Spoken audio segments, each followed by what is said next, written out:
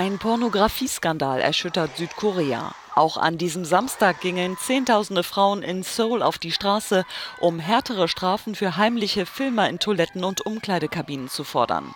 Die Aufnahmen der Minikameras wurden in der Vergangenheit wiederholt in Chatrooms und auf Pornoseiten veröffentlicht.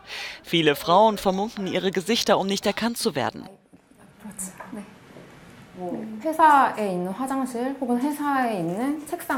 Sie habe immer befürchtet, dass es geheime Kameras in Toiletten oder unter den Schreibtischen am Arbeitsplatz geben könnte, meint die Organisatorin.